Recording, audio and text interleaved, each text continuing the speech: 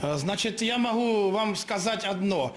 Мы, в принципе, начали мероприятия, которые э, э, разделили, так сказать, завод и город. То есть на заводе у нас есть защитные сооружения, их 11, и они способны, э, так сказать, принять на себя э, наибольшее количество э, людей, которые работают в одну смену. То есть 11 защитных сооружений, которым, которые ровесники нашего завода, конечно. Э, то есть это, чтобы вы понимали, строение, которым уже там за 50 лет. Э, в свое время еще при Советском Союзе наводили с них и порядки, и отопление, и канализация, и все это работало. Но со временем, в связи с тем, что не было таких опасных ситуаций, многие вещи пришли в негодность. В 2014 году мы начали восстанавливать все это.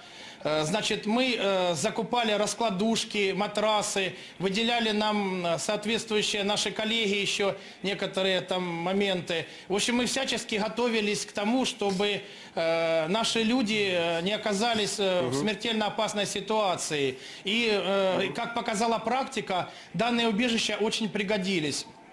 За 2014-2015 год э, более тысячи человек в общем на заводе фактически, э, ну в течение в общей сложности более 8 месяцев жили. Это семьи, это дети, это работники завода и в том числе э, граждане, которые проживают в городе Дмитрий, Авдеевка. ваши старания на, на месте, они достойны похвалы. Спасибо вам за это. Но скажите, положа руку на сердце, средств вам хватает на все это, выделяемых из центра?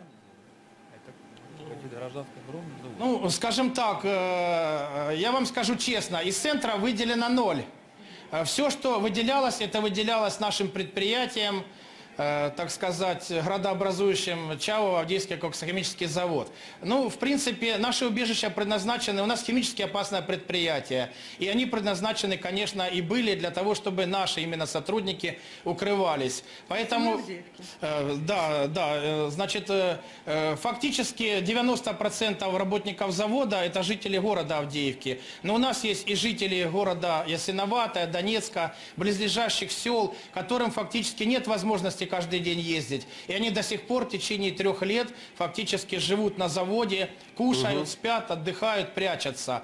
Еще такой момент показал, что э, фактически при обстреле, э, если убежище расположено в здании, то фактически э, значит, работники могут спуститься вниз в подвальное помещение. Если убежище расположено отдельно стоящее, так называемое, то есть требуется время до него добежать. Мы разработали соответствующие инструкции, и э, то есть нем- немножко, так сказать, вот эти все гражданские мероприятия усовершенствовали в соответствии с действующей обстановкой. То есть в момент обстрела никто никуда не бежит. Все прячутся за стенами, так сказать, э, которые ну, потолще, там, Понятно. ну, где Понятно. или пониже, Спасибо, Дмитрий. значит,